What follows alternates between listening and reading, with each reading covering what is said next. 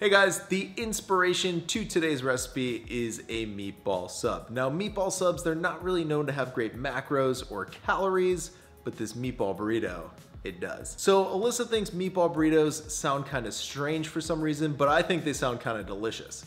That's just my opinion though. Let's get cooking. All right guys, so the first thing you'll need is some extra lean ground beef.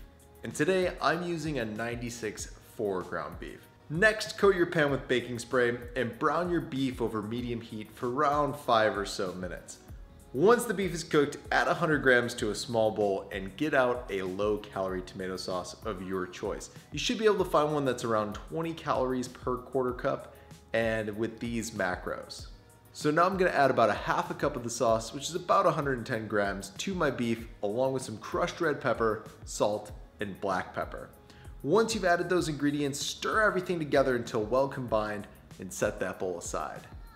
Now we're ready to get our wrap out for the burrito. And as you guys know, I really like these Joseph's wraps. So if you can find them, buy them. But if you can't, try to find something with similar macros to these. Your wrap should be in the 100 to 120 calorie range. So now that I've got my wrap out, I'm gonna add a small handful or about 40 grams of shredded lettuce, my beef from earlier, and I'm gonna top that with some fresh basil. Now you'll want to tightly roll up your burrito. The tighter the better. And once it's rolled up, cut your burrito in half.